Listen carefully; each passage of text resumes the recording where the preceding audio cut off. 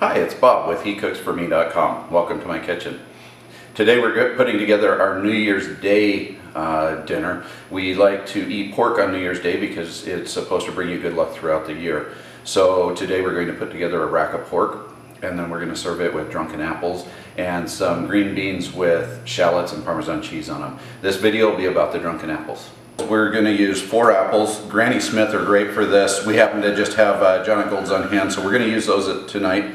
And then we're going to use ground cinnamon. This is a quarter teaspoon, a half a cup of brown sugar, four tablespoons of butter, and then right at the end we'll put on two tablespoons of cognac.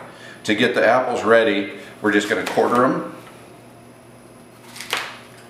And then you cut out the core, so you cut just underneath the where the seeds are.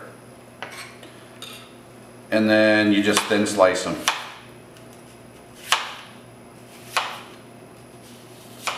So that's how you get your apples ready. We've melted the butter now, so we're ready to start putting the apples in. I'm gonna stir in, this is our cinnamon and our brown sugar and get that mixed in pretty good with the, the uh, butter that's going. Get that brown sugar all softened up as well. And then I will throw all of these apples in over the top of it and we'll just cook them until they're getting soft. So these will just go in right now. For these apples, it's going to take probably 20 to 30 minutes of simmering them for them to get softened. You want to stir them in so that they get all of that butter and sugar all over them. And it really helps to use a wooden spoon with this because it doesn't cut them up as you're stirring. I've got those stirred into that butter now. We're going to cook these on a medium-low heat, probably a 3 or 4 for the next 20-30 minutes. Our apples have been simmering for about 25 minutes. They're really softened up now and uh, coated really good with that butter and sugar. So we're going to go ahead and put in our 2 tablespoons of cognac.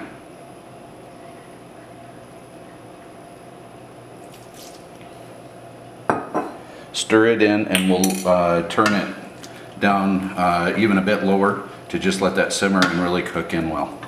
To plate our meal tonight, I'm just going to take one of those pork chops and then I'm going to cover it with some of the drunken apples.